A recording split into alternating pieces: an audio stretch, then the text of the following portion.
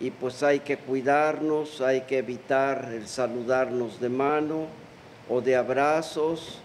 o besos en las mejillas, eh, tener la sana distancia y estar en lugares ventilados. Yo creo que es lo fundamental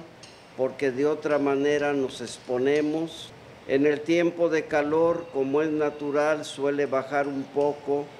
la participación de los feligreses, porque algunos toman vacaciones,